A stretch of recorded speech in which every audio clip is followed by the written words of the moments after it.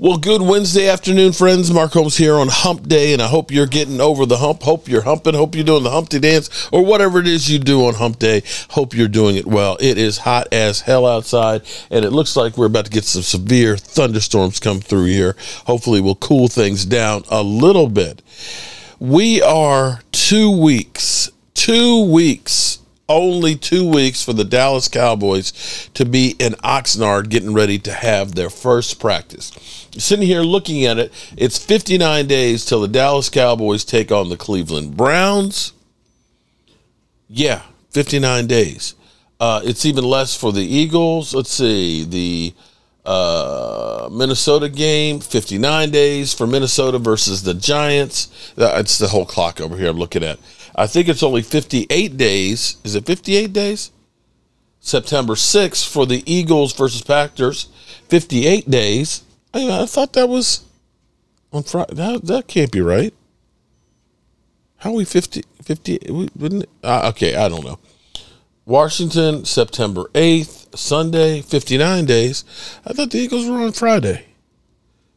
So how could it be 50? 50? Okay, I don't. Uh, anyway, we got games coming up. So we know that the Cowboys have done nothing this offseason. My man Delan Salio believes that the Cowboys are tanking, and that's a possibility. That's a possibility.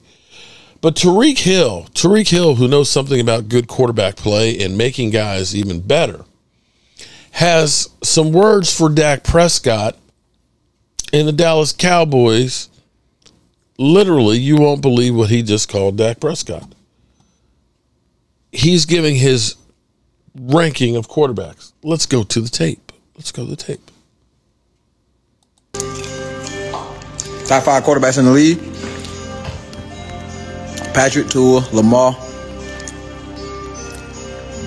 Dak,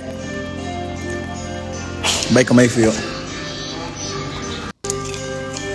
Say it Top again. five quarterbacks in the league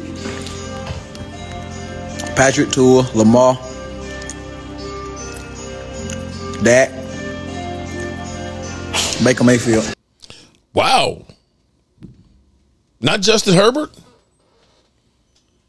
Not Josh Allen.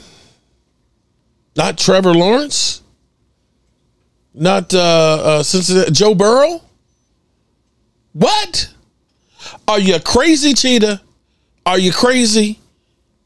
I, I I'm kind of surprised on that one. I'm I'm kind of surprised, but then again, maybe I'm not. You know, that that's kind of where it seems like there's more people other than cowboy hater and cowboy fans that actually think Dak Prescott is a decent quarterback.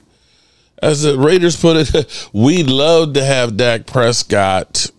Okay, we we we'd love to have that guy just just kind of surprised here. Just kind of surprised. Um, yeah, it's funny how people outside the building, outside of the Cowboys, think that he's okay. That that he's he's not a garbage ass quarterback. That he's actually pretty good. Kind of surprising, but hey, shout out to Tyreek Hill. And I know here we go, the trolls. Here we go. Here we go, trolls. Go go ahead have fun with the trolls. Cut me up. Call me a Dak Prescott lover. Uh, you're not really a Cowboy fan. You just a Dak Prescott fan. And I'm not on the payroll. Not on the payroll. But you know what? It's all good. It's all good. Hope y'all are having a great day. And I will, you know, you'll see me later. You know.